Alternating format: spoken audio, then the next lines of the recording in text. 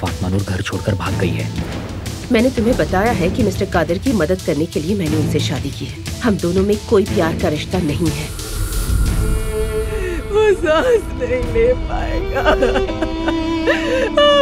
उसके बदले मैं चली जाती हूँ।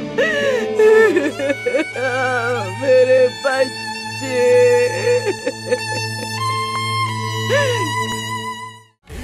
तेरा डंगदा है